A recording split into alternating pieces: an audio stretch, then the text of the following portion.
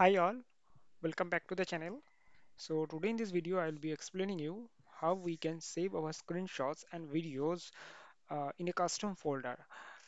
In case in this case the custom folder is a user defined folder where we are giving the folder name. Uh, in that folder only that uh, screenshots and the videos whichever would be recorded will should, should be saved. Okay, right now, I mean, I have not shown this uh, thing you. So uh, in my one of my previous videos, if I open in YouTube, so you can see here the 20th video uh, that is Playwright with Python and PyTest framework, uh, Playwright part 10. In that, I have explained about take screenshots, and in the next video, I have explained about how to uh, record video. So in that actually we have saved in the test results folder that is getting generated by default. There is, I mean, you do not have to give this folder name. Okay, so uh, Playwright uh, automatically creates for you. And uh, if you do not mention this folder name, now if you want to mention a folder, let's say I do not want to save in test results folder, I want to save in a uh, let's say a snapshots folder so, or any folder, I mean, okay, uh, artifacts folder or any name, any custom name you want to give. In that case, how will you do it, right? So for that, uh, let me explain that. So in uh, miscellaneous, I I'm not creating any new test for this. So I'm using one of my previous created uh, test that is test slider. I already made a video on it.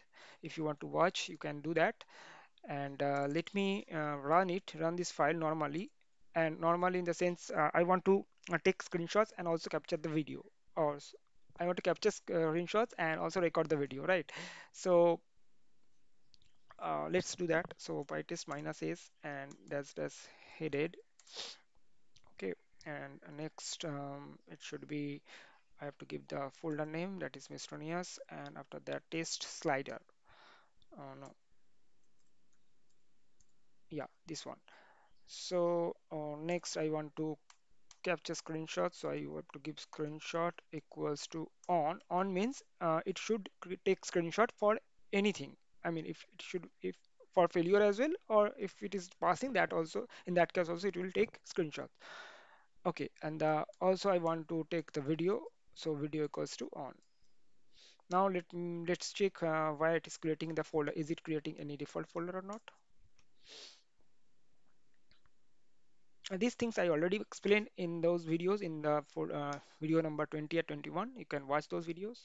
Here I'm just uh, doing one summarized video and uh, I will show you next uh, how to add the custom folder name. So here in this case you can see the test passed and now let's see whether one uh, yeah you can see this test results folder got generated. It was not there earlier. I already deleted it.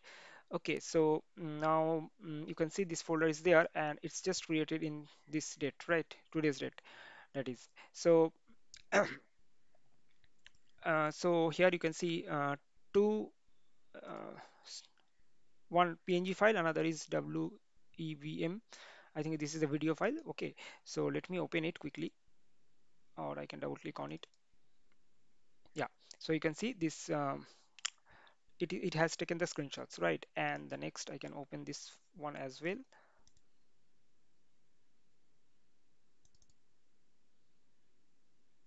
So it's capturing the videos as well. And it's pretty quick, right? We did not, we we already we already we already know about it. So nothing new. Now next thing is that uh, we do not have to do anything. We just have to pass one extra parameter here that is dash dash output equals to let's give the folder name. So let me give a folder name called uh, artifacts.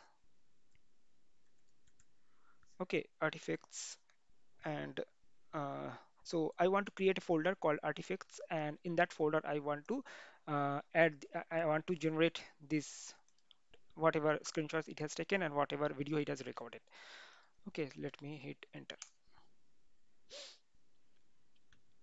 Okay, one thing uh, you can see like I think test results folder should be deleted automatically.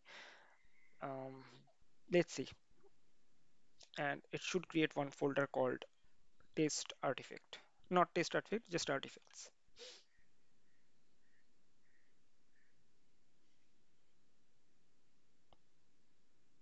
Okay, So as you can see here, uh, it created one folder that is artifact and it is also the test results folder is also there because we have not deleted this folder, right? And uh, this has something. So you have to manually delete it. And now uh, our objective is achieved, right? So we want to create one uh, custom folder that is with the name this one. And here we can see the same uh, content is there. So the screenshots and the video as well. So as you can see, I mean, if you do not need it, you can delete this one. And also let's delete this one once again and let's let's run once again. Clean run.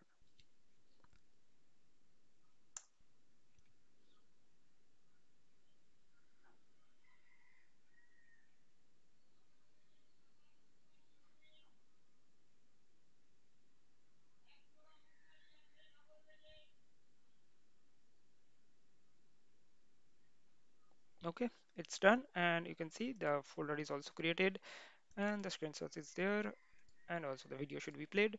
I'm not playing it, I already shown you. So that's it for this today's videos. So that's the small thing we have to do. That is this uh, thing dash dash output equals to artifacts. Okay, this thing you need to add. This is a command line argument that you have to pass. Okay, that's it. Thank you for watching. Please like, share, and subscribe.